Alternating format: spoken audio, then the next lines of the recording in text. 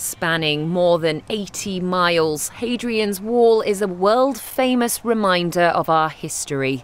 But pieces of the region's heritage have been stolen, robbing others of the chance to understand our past. We've uh, acted on the tip off from a member of the public who saw something suspicious and found over 50 metal detecting holes uh, all over this site. Ones like this? Very much like, like this. So they're quite characteristic and distinct from animal burrows or, or uh, uh, sheep scrapes or anything like that. They're very difficult, those kind of objects, to, uh, to, to track down in terms of provenance if you do see them on a online auction site or something like that. So that's amongst the most frustrating things is, is just not knowing what we've lost. When you see a beautiful site like this damaged, how does that make you feel?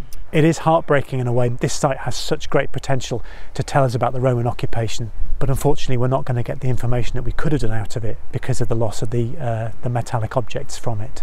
Many metal detectors hand in what they find along Hadrian's Wall for archaeologists to study.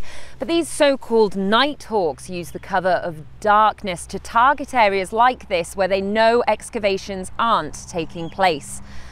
Police say stealing artefacts is a crime and one that they are taking very seriously. Hadrian's Wall attracts more than a million visitors every year.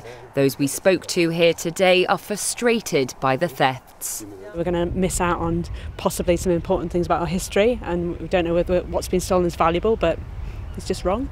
That's that's not good. That's a shaming, but because uh, within a few years there is nothing, any, there's nothing more and then yeah, that's all all the things are gone. It's a real shame because we lose the bits and pieces that they take, whatever they may be, out of context, and probably we never see them again, and they just disappear into the ether.